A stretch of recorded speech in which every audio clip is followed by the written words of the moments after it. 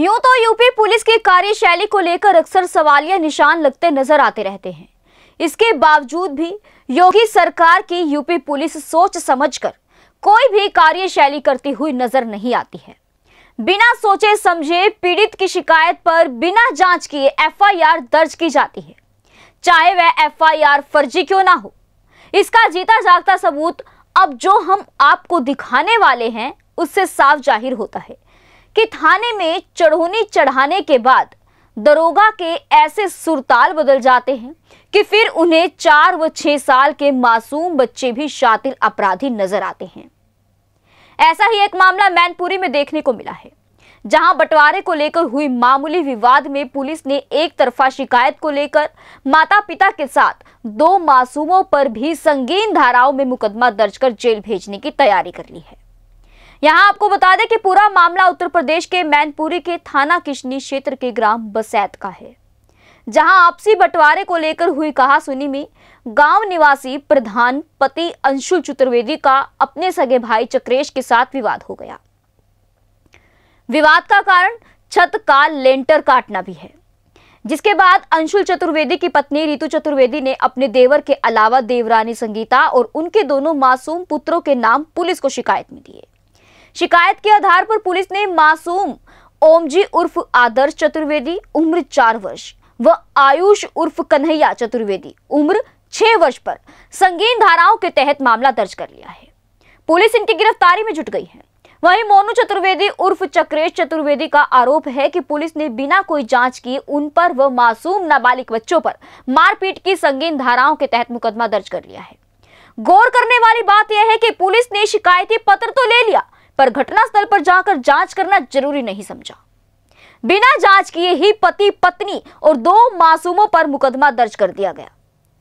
अब पुलिस की इस कार्यवाही से साफ़ ज़ाहिर होता हुआ दिख रहा है कि शिकायतकर्ता और पुलिस की साठ गांठ से पूरी कार्यवाही की गई है। इस संबंध में पीड़ितों ने मुख्यमंत्री को ज्ञापन देकर न्याय की गुहार लगाई गई है। वहीं समाजवादी पार्टी के क्षेत्रीय विधायक ब्रिजेश कठेरिया ने प्रदेश सरकार पर आरोप लगाते हुए कहा कि यूपी की पुलिस मनमानी और लापरवाही करती है। यह किसी से छुपा नहीं है। पूरे यूपी में यह लापरवाही चल रही है। मैनपुरी से संवाददाता गौरव पांडे की रिपोर्ट। आयुष एक आयुष चतुर्वेदी है दूसरा कन्हैया। पिताजी का क्या नाम है? चक्रेश चतुर्वेदी और मोनू चतुर्वेदी। क्या हुआ था तुम्हारे घर पे?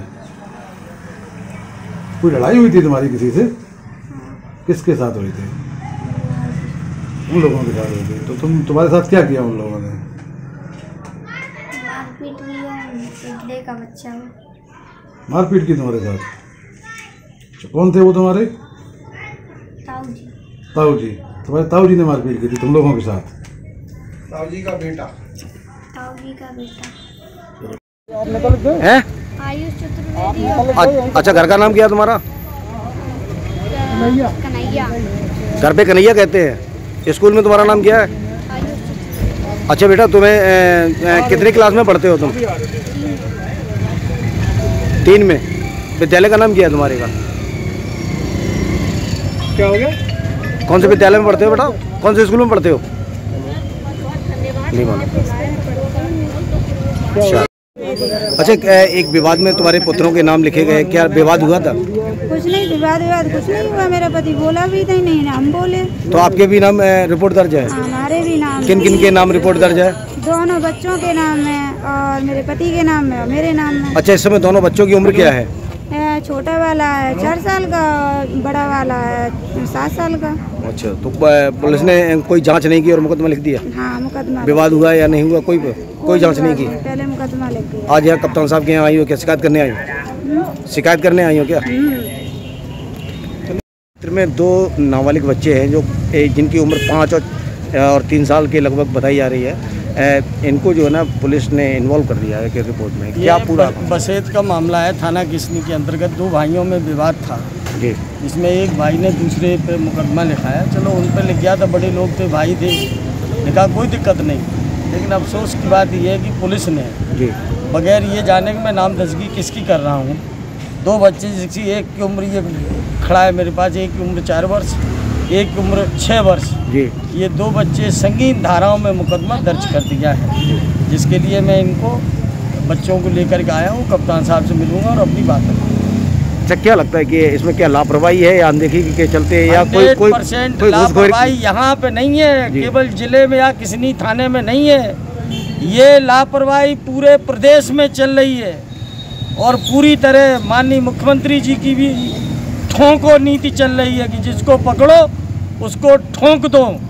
बगैर ये जाने कि क्या अपराध था क्या नहीं था बगैर बैकग्राउंड जाने। आए दिन और उन्हीं के आए दिन उन्हीं के कर पद चिन्हों पर चलते हुए और पूरा प्रशासन पूरे पुलिस के अधिकारी सारे के सारे सब निरंकुश हैं और जनता बेहद परेशान है। मेरा नाम तो आज यहाँ कप्तान साहब के यहाँ आए हुए हो। क्या पूरा मामला है? क्यों आए हो? मामला सर ये है कि मेरे यहाँ एक तो पहले तो पहले से एक विवाद चल रहा है। उसमें ही मेरे को ऊपर एक फर्जी मुकदमा पंजीकृत किया गया थाना किसनी में। जी। ठीक है? उसके बाद भी हमारा भाइयों भाइयों का विवाद था। उसमें भी सर मेरे इन छोटे बच्चों को एक चार साल का एक छः साल का है। है। किसी भी प्रकार का कोई विवाद नहीं हुआ। और पहुँच के कारण इनकी सगी ताई मेरी भाभी जी ने। और भाई मेरे थोड़ा धन बल उनके पास ज़्यादा है। उसके एवज में। मेरे इन बच्चों को भी उसमें शामिल किया जबकि इस विवाद नाम की कोई चीज़ ही नहीं हुई। मैंने अपने हिस्से की छत का लेंटर कटवाया था। जी। ऊपर जाने आने के लिए पानी की टंकी साफ़ करने के लिए। जी। केवल इतना सा मामला था। तो इन दोनों बच्चों का भी नाम लिखवा दिया? जी जी इन दोनों के क्या रिपोर्ट में क्या नाम लिखे हैं? इनके और घर के क्या नाम है? घर के नाम लिए जाते हैं कन्हैया और ओम जी। जी वो लिखे हैं। और वैसे वास्तविक नाम क्या है इनके दोनों? आदर्श। ये मुकदमा कब लिखा गया था ये मुकदमा इक्कीस तारीख को ऐसे ही लेटेस्ट खबरें पाने के लिए बेल आइकन को क्लिक कर हमारे चैनल को लाइक शेयर एंड सब्सक्राइब करें धन्यवाद JBD Banquets lie hai incredible marriage palace Rajgharana and the finest banquet hall Jyoti Garden. World class catering, centrally air conditioned, lush green lawns, state of the art lighting. A perfect venue for wedding, launching and parties. Rajgharana and Jyoti Garden at JBD Banquets Enterprise.